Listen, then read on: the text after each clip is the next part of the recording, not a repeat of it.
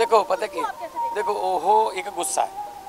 ਉਹਨੇ ਪਹਿਲਾਂ ਇਸ ਤਰ੍ਹਾਂ ਦਾ ਬੋਲਿਆ ਹੋਇਆ ਤੇ ਉਹਦਾ ਗੁੱਸਾ ਕਿਤੇ ਨਾ ਕਿਤੇ ਉਸ ਕੁੜੀ ਦੇ ਦਿਲ 'ਚ ਹੋਣਾ ਹੋਣਾ ਨਹੀਂ ਚਾਹੀਦਾ ਸੀ ਇਸ ਤਰ੍ਹਾਂ, ਹੈਨਾ? ਪਰ ਉਹਦੇ ਜਵਾਬ ਦੇ ਵਿੱਚ ਇੱਕ ਪਬਲਿਕ ਫਿਗਰ ਹੋਣ ਦੇ ਨਾਤੇ ਭਾਵੇਂ ਉਹ ਫਿਲਮ ਸਟਾਰ ਭਾਵੇਂ ਉਹ ਇਲੈਕਟਡ ਐਮਪੀ ਬਣ ਗਏ ਹੁਣ, ਇਹ ਕਹਿਣਾ ਕਿ ਸਾਰਾ ਪੰਜਾਬ ਹੀ ਅੱਤਵਾਦੀ ਹੈ, ਸਾਰਾ ਪੰਜਾਬ 'ਚ ਅੱਤਵਾਦ, ਇਹ ਮਤਲਬ ਇਹ ਗਲਤ ਹੈ। ਇਸ ਤਰ੍ਹਾਂ ਨਹੀਂ ਹੋਣਾ ਚਾਹੀਦਾ ਕਿ ਤੁਸੀਂ ਸਾਰੇ ਉਹ ਪੰਜਾਬ ਹੈ ਜਿਹਨੇ ਦੇਸ਼ ਲੈ ਕੇ ਦਿੱਤਾ ਉਹ ਪੰਜਾਬ ਹੈ ਜਿਹੜਾ ਦੇਸ਼ ਦਾ ਪੇਟ ਪਾਲਦਾ ਅੱਜ ਵੀ। 130 ਲੱਖ ਮੀਟ੍ਰਿਕ ਟਨ ਕਣਕ ਦੇਵਾਂਗਾ ਹੁਣ ਐਸੇ ਸੀਜ਼ਨ 'ਚ ਦੇਸ਼ ਨੂੰ। 220 ਲੱਖ ਮੀਟ੍ਰਿਕ ਟਨ ਚਾਵਲ ਦੇਵਾਂਗੇ। ਅਸੀਂ ਦੇਸ਼ ਦਾ ਢਿੱਡ ਭਰਦੇ ਹਾਂ। ਅਸੀਂ ਕੁਰਬਾਨੀਆਂ ਅੱਜ ਵੀ ਸਾਡੇ ਜਿਹੜੇ ਨੌਜਵਾਨ ਨੇ ਉਹ ਕਾਰਗਿਲ ਤੋਂ ਲੈ ਕੇ ਮਾਈਨਸ ਤੇ ਪਲੱਸ ਡਿਗਰੀ ਜਿਹੜੇ ਮਾਈਨਸ 50 ਦੇ ਵਿੱਚ ਤਾਂ ਅ, ਜਦੋਂ ਠੰਡ ਦੇ ਵਿੱਚ ਕਾਰਗਿਲ 'ਚ ਖੜੇ ਹੁੰਦੇ ਨੇ ਤੇ ਆ ਹੁਣ ਜੂਨ 'ਚ ਅ, ਗੰਗਾ ਨਗਰ ਤੇ ਜੈਸਲਮੇਰ ਦੇ ਟਿੱਬਿਆਂ 'ਚ ਪਲੱਸ 50 ਦੇ ਵਿੱਚ ਖੜੇ ਨੇ। ਸੋ ਅਸੀਂ ਦੇਸ਼ ਦੀ ਰੱਖਿਆ ਕਰਨ ਵਾਲੇ ਤੇ ਦੇਸ਼ ਨੂੰ ਮਤਲਬ ਇੱਥੇ ਤੱਕ ਆਜ਼ਾਦੀਆਂ ਦਿਵਾਉਣ ਵਾਲੇ ਲੋਕ ਆ ਤੇ ਤੁਸੀਂ ਇੱਕ- ਹਰੇ ਗੱਲ ਤੇ ਕਹਿੰਦੇ ਨੇ ਅੱਤਵਾਦੀ ਨੇ ਵੱਖਵਾਦੀ ਨੇ ਕਿਸਾਨ ਬਹਿ ਜਾਣ ਇਹ ਅੱਤਵਾਦੀ ਨੇ। ਕੋਈ ਵੀ ਉਹਨਾਂ ਦੇ ਵਿਰੁੱਧ ਕੋਈ ਬਹਿ ਜਾਏ ਅੱਤਵਾਦੀ ਨੇ ਵੱਖਵਾਦੀ ਨੇ। ਸੋ ਇਸ ਤਰ੍ਹਾਂ ਗਲਤ ਗੱਲ ਹੈ। ਪੰਜਾਬ ਜਿਹੜਾ ਉਹ ਦੇਸ਼ ਦਾ ਧੁਰਾ ਹੈ। ਸੋ ਧੁਰਾ ਸਹੀ ਰਹੂਗਾ ਤਾਂ ਦੇਸ਼ ਸਹੀ ਰਹੂਗਾ। ਮਾਨ ਸਾਹਿਬ ਤੁਸੀਂ ਲਗਾਤਾਰ ਫੀਡਬੈਕ ਲੈ ਰਹੇ ਹੋ। ਤੁਹਾਡੇ ਕੋਲ ਫੀਡਬੈਕ ਆ ਰਿਹਾ ਹੈ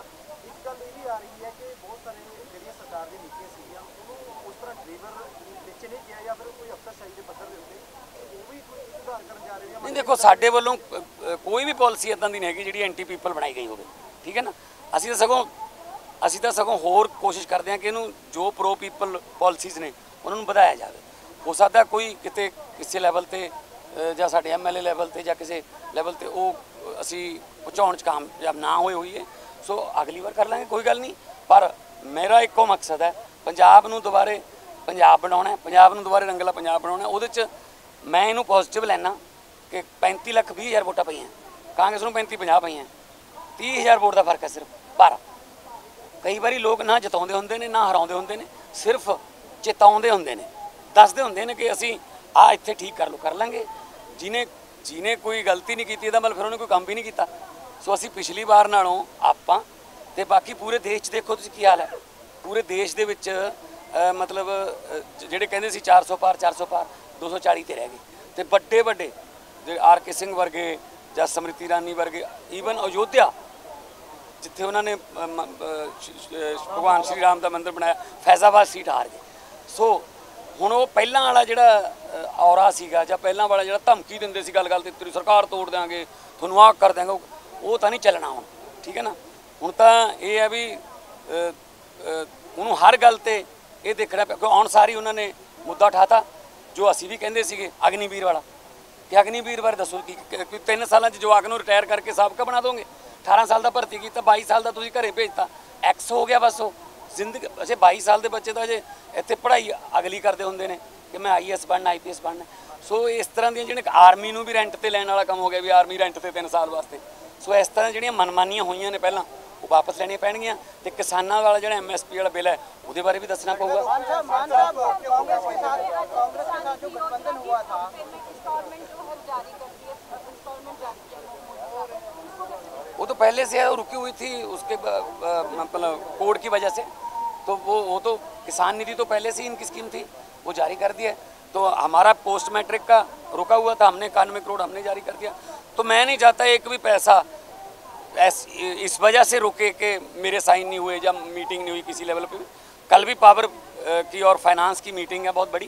कल पूरा दिन हम पंजाब के फाइनेंसेस के लिए और पंजाब में क्योंकि आने वाले दिन बिजली से संबंधित हैं।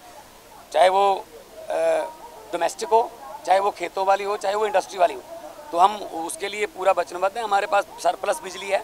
हम कई स्टेटों को हम दे चुके हैं। तो नेशनल एक्सचेंज से वापस भी ले सकते हैं। ਤੋਂ ਬੜੀ ਅੱਛੀ ਪਲੈਨਿੰਗ ਸੇ ਚੱਲ ਰਹੇ ਹਨ ਔਰ ਕੋਈ ਵੀ ਇਦਾਂ ਦਾ ਡਿਸੀਜਨ ਜਿਹੜਾ ਕਿ ਲੋਕਾਂ ਨੂੰ ਕਿਸੇ ਵੀ ਤਰੀਕੇ ਨਾਲ ਪ੍ਰਭਾਵਿਤ ਕਰਦਾ ਹੋਵੇ ਅਸੀਂ ਲੈਂਦੇ ਨਹੀਂ ਅਸੀਂ ਲੋਕਾਂ ਨੂੰ ਇਹ ਕਹਿ ਕੇ ਵੋਟਾਂ ਲਈਆਂ ਹੋਈਆਂ ਨੇ ਕਿ ਭਾਈ ਅਸੀਂ ਤੁਹਾਡੇ ਨਾਲ ਦੇ ਆ ਆਮ ਘਰਾਂ ਤੋਂ ਆ ਉਵੇਂ ਹੀ ਰਵਾਂਗੇ ਤੇ ਅੱਜ ਵੀ ਮੈਂ ਤਾਂ ਕੋਈ ਉਸ ਅਗਲੇ ਅਗਲੇ ਦਿਨ ਮੈਂ ਤਾਂ ਆਫਿਸ ਦੇ ਵਿੱਚ ਆ ਗਿਆ ਸੀਗਾ ਸੋ ਮੈਂ ਕੰਮ ਤੇ ਆ ਤੇ ਨਾਲ ਨਾਲ ਐਨਾਲਿਸਿਸ ਬਹੁਤ ਜ਼ਰੂਰੀ ਹੈ ਆਤਮ ਮੰਥਨ ਬਹੁਤ ਜ਼ਰੂਰੀ ਹੈ ਕਿ ਕਿੱਥੇ ਕੋਈ ਕਮੀ ਰਹੀਆਂ ਜਿੱਥੇ ਕਮੀ ਰਹੀਆਂ ਪੂਰੀਆਂ ਕਰਾਂਗੇ ਜਿੱਥੇ ਵਧੀਆ ਖੂਬੀਆਂ ਰਹੀਆਂ ਕੋਈ ਉਹਨਾਂ ਨੂੰ ਡਬਲ ਕਰਾਂਗੇ ਮਾਨ ਸਾਹਿਬ ਆਪਨੇ ਕਹਾ ਆਸਾ ਕਹਿੰਦੇ 4 ਤਰੀਕ ਤੋਂ ਬਾਅਦ ਮਾਨ ਸਰਕਾਰ ਦੇ ਕਿਉਂ ਜਾ ਰਹੇ हैं ਉਹ ਤੋਂ ਉਹ ਉਹ ਆਪਣਾ ਮਤਰਾਲਾ ਬਚਾ ਲੇ ਉਹੀ ਬਹੁਤ ਹੈ मान साहब आपने कहा मंथन करेंगे कांग्रेस के साथ जो गठबंधन हुआ था उसका आपको क्या लगता है कि कांग्रेस को ज्यादा फायदा हुआ है या आम ਇਹ ਤਾਂ ਹੁਣ ਦੇਖ ਕਰੇ ਤੋਂ ਪਤਾ ਲੱਗੂਗਾ ਜੀ ਦੇਖੋ ਠੀਕ ਹੈ ਨਾ ਇਹ ਤਾਂ ਗੱਲਬਾਤ ਕਰਦੇ ਆ ਕਰੇ ਕ- ਕਾਂਗਰਸ ਅਹ, ਜਿਵੇਂ 3200 ਤੇ ਸ- ਮ- ਮਹਿਜ 3200 ਤੇ ਫਿਰੋਜ਼ਪੁਰ ਦੀ ਸੀਟ ਜਿੱਤ- ਅਹ, 10000 ਤੇ ਪਟਿਆਲੇ ਵਾਲੀ ਸੀਟ। ਪਰ ਨਾਲ ਨਾਲ ਜਿਹੜਾ ਅਹ, ਖਹਿਰਾ ਸਾਹਿਬ ਕਹਿੰਦੇ ਸੀਗੇ ਵੀ ਮੈਂ ਪਤਾ ਨਹੀਂ ਕੀ ਬਦਲ ਦੂੰਗਾ ਮੈਂ ਉਹ ਬਦਲ ਦੂੰਗਾ। ਉਹ ਸੱਤ ਤੀਜੇ ਨੰਬਰ ਤੇ ਆਏ। ਕੋਈ ਚੌਥੇ ਤੇ ਆਇਆ। ਅਕਾਲੀ ਦਲ ਦਾ ਨਾਮੋ ਨਿਸ਼ਾਨ ਖਤਮ ਹੋ ਗਿਆ। ਸੋ ਸੋ 11 ਸੀਟਾਂ ਤੇ ਨੇ ਜ਼ਮਾਨਤਾਂ ਜ਼ਬਤ ਤੋ ਵੋਟਾਂ ਬਹੁਤ ਵਧੀਆ ਪਾਈਆਂ। ਲੋਕਾਂ ਤੇ ਕੋਈ ਲੋਕਾਂ ਦਾ ਫਤਵਾ ਸਿਰ ਮੱਥੇ ਹੈ। ਮੈਂ ਤੁਹਾਨੂੰ ਕਹਿਣਾ ਕਿ ਪਹਿਲੇ ਪਹਿਲੀ ਇਲੈਕਸ਼ਨ ਮੈਂ ਲਹਿਰਗਾ ਕੇ ਤੋਂ ਹਾਰ ਗਿਆ ਸੀ। ਪਰ ਮੈਨੂੰ 28000 ਵੋਟ ਪੈ ਗਈ ਸੀ। ਸੋ ਲੋਕ ਕਈ ਵਾਰੀ ਇਹ ਵੀ ਕਹਿੰਦੇ ਹੁੰਦੇ ਨੇ ਕਿ ਭਾਈ ਹੋਰ ਮਿਹਨਤ ਕਰ ਲਓ। ਨਾਲੀਆਂ ਲੋਕਾਂ ਵੱਲੋਂ ਕਦੇ ਕੋਈ ਵਿਰੋਧ ਨਹੀਂ ਹੋਇਆ। ਲੋਕਾਂ ਵੱਲੋਂ ਆ ਅੱਜ ਵੀ ਗੁਰਦੁਆਰਾ ਸਾਹਿਬ 'ਚ ਲੋਕ ਮਿਲਦੇ ਤੁਸੀਂ ਬਹੁਤ ਵਧੀਆ ਕੰਮ ਕਰ ਰਹੇ ਹੋ ਜੀ। ਮੈਨੂੰ ਚੰਗਾ ਲੱਗਦਾ ਜਦੋਂ ਕਹਿੰਦੇ ਲੋਕ, ਤੇ ਮੈਂ ਕਹਿੰਦਾ ਜੀ ਪਰਮਾਤਮਾ ਕਰਵਾਉਂਦਾ ਉਹ ਹੈ ਸਮੱਤ ਬਖਸ਼ੇ ਪਰਮਾਤਮਾ। ਪੰਜਾਬ ਜਿਹੜਾ ਦ- ਦੁਆਰੇ ਲੀਹ ਤੇ ਚਾੜੀਏ ਤੇ ਪੰਜਾਬ ਨੂੰ ਕੋਈ ਨਜ਼ਰ ਨਾ ਲੱਗੇ। ਤੇ ਮੈਂ ਇਹੀ ਅੱਜ ਤੁਹਾਡੇ ਨਾਲ ਗੱਲ ਸਾਂਝੀ ਕਰਨ ਆਇਆ ਕਿ ਅੱਜ ਸ਼ਹੀਦਾਂ ਦਾ ਦਿਨ ਹੈ। ਔਰ ਇਨਸਾਫ ਇਨਸਾਫ ਦੇ ਲਈ ਲੜਾਈ ਲੜਨ ਵਾਲਿਆਂ ਦਾ ਦਿਨ ਹੈ। ਔਰ ਸ਼ਹੀਦਾਂ ਦੇ ਸਰਤਾਜ ਜਿਨ੍ਹਾਂ ਨੂੰ ਕਿਹਾ ਜਾਂਦਾ ਸ਼੍ਰੀ ਗੁਰੂ ਅਰਜਨ ਦੇਵ ਜੀ ਦਾ ਸ਼ਹੀਦੀ ਦਿਵਸ ਹੈ। ਨਤਮਸਤਕ ਕਰਨਾ ਹੈ ਕੋਟਨ ਕੋਟਨ ਪ੍ਰਣਾਮ।